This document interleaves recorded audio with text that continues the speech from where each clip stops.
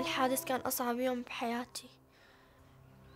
يعني يعني هيك أول ما انصبت يعني ما عاد عرفت إنه ما عاد يعني أمشي. عرفت؟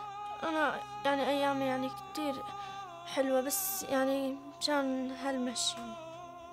تميت خمسة أشهر. هلأ أنا أملي بالله يعني كبير.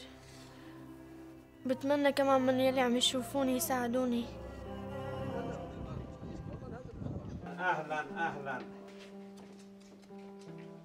When I saw Nadia, I had this immediate connection. That's one of my girls.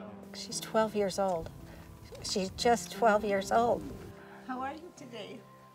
Good. When Nadia and her family came out of Syria, they lost everything. They had nothing but what they wore out. And Nadia, in a very personal way, lost her life as she knew it And I could see how very life-changing this was for Nadia.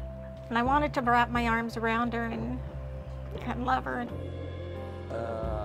الوقت الحالي يعني يعني بقدر استطاعت الانسان يعني بيقدم لواحد انه بنته مضروبه ومشان يرجع الفرحه للبنت يعني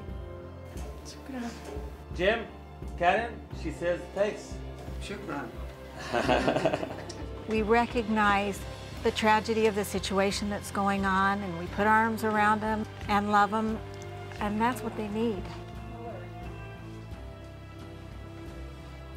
حياة نادية صعبة صعبة هيك بعد ما بعد ما هيك كانت انه بتمشي وقاعدة هيك كمان عمو أبو منذر عطاني يعني أملي بالحياة لما